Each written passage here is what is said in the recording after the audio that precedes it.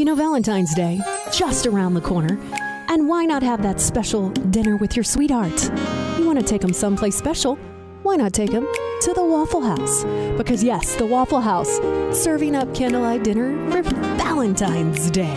They're going to decorate the restaurants in red and pink. They're going to play love songs throughout the night.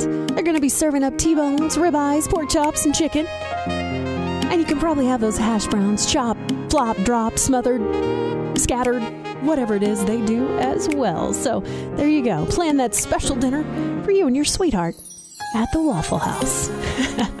I have this ongoing joke. A couple of friends, they uh, live up in uh, Lubbock, and uh, they came up here to visit one weekend, and all they wanted was the Waffle House. They're like, we gotta go eat there. And I'm like, are, are you kidding? I mean, we didn't even go out and party, and you want the Waffle House? Well, apparently they don't have Waffle Houses in Lubbock, so now they can come up to Amarillo and celebrate Valentine's Day in a perfect way at the Waffle House.